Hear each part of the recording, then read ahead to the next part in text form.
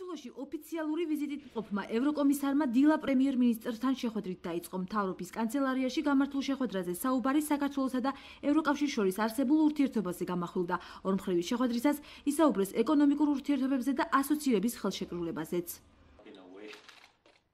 პრემიერ-მინისტრთან შეხვედრის დასრულების შემდეგ იოჰანეს ჰანის პრეზიდენტმა გიორგი მარგულაშვილმა უმასპინძლა. მხარეებმა ოკუპირებულ ტერიტორიებზე არსებული ვითარება განიხილეს. ასევე ასოცირების შეთანხმებით ნაკისრი ვალდებულებების შესრულებაზე იმსჯელეს. ხაზი გაესვა რომ საქართველო აღმოსავლეთ პარტნიორობის ლიდერი ქვეყანაა ხოდრაზე საუბარი შეეხება უპირველეს ყოვლისა რა თქმა უნდა ოკუპირებული ტერიტორიების პრობლემატიკას და ევროკავშირის როლს როგორც ერთადერთი ორგანიზაციის რომელიც წარმოადგენელია დღეს საქართველოსი კონფლიქტის ოკუპაციის მონიტორინგის თვალსაზრისით საუბარი შეეხება საქართველოს ასოცირების ხელშეკრულების ფარგლებში გადადგმულ ნაბიჯებზე, მიმდინარე პროგრესზე, აღმოსავლეთ პარტნიორობის საკითხებს. დღესვე ევროკავშირის აღმოსავლეთ პარტნიორობის ევროპული სკოლა საზეიმოდ გახსნა იოჰანეს ჰანიმ. ეს არის პირველი საგანმანათლებლო დაწესებულება ევროკავშირის ფარგლებს გარეთ, სადაც დამამთავრებელი კლასის მოსწავლეები 6 ქვეყნიდან ისწავლიან და საერთაშორისო დონეზე აღიარებულ ევროპული ხარისხის განათლებას მიიღებენ.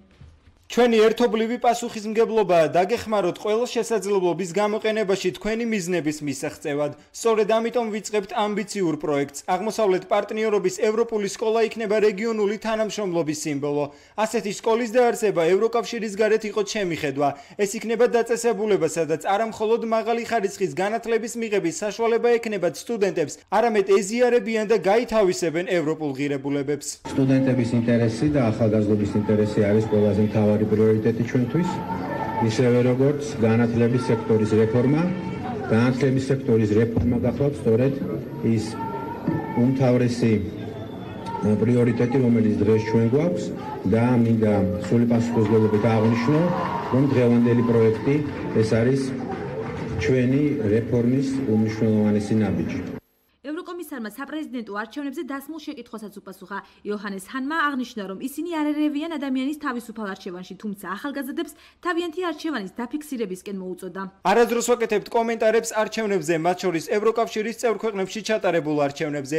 ჩვენ ხალხის თავისუფალ არჩევანში არ ვერევით. ჩემი ერთადერთი გზავნილი ქართველი ხალხის მიმართ იქნება ის, რომ გამოიყენონ შესაძლებლობა და დააფიქსირონ თავიანთი არჩევანი.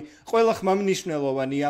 საქართველოში ოფიციალური ვიზიტით მყოფ ევროკომისარს საკანონმდებლო ორგანოს წევრებმა უმასპინძლეს. შეხვედრაზე როგორც უმრავლესობის წევრები, ასევე საპარლამენტო ოპოზიციის წარმომადგენლები მონაწილეობდნენ. შეხვედრის დასრულების შემდეგ პარლამენტის ვიცე-სპიკერმა აღნიშნა, რომ საუბარი ქვეყანაში გატარებულ რეფორმებს შეეხო, ასევე ისაუბრეს აღმოსავლეთ პარტნიორობის ფორმატის გაღრმავებაზე და სამშვიდობო პოლიტიკის გაგრძელებაზე.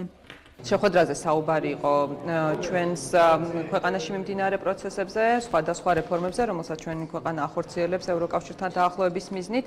საკმაოდ ბევრი ვისაუბრეთ პარლამენტის როლზე ქვეყანაში, გარკვეულ ცვლილებებზე, რომელიც განხორციელდა კონსტიტუციით, ასევე იმ ცვლილებებზე, რომელსაც ჩვენ გეგმავთ უახლოეს მომავალში პარლამენტის საზედამხედველო როლის გასაძლიერებლად. უნდა გააგრძელოს საქართველოს სამშვიდობო პოლიტიკა და ძალისხმევა უნდა გააქტიუროს ჩვენი ტერიტორიული ეროვნული მთლიანობის აღდგენის კუთხით მე ვისაუბრე იმაზე, რომ საჭიროა ახალი ფორმატების ამოქმედება, ჟენევის ფორმატის და კარასინიაბაშის ფორმატის პარალელურად, ეს არის საქართველოს ნატო-რუსეთის ფორმატი, სადაც უსაფრთხოების მექანიზმებზე უნდა იყოს საუბარი.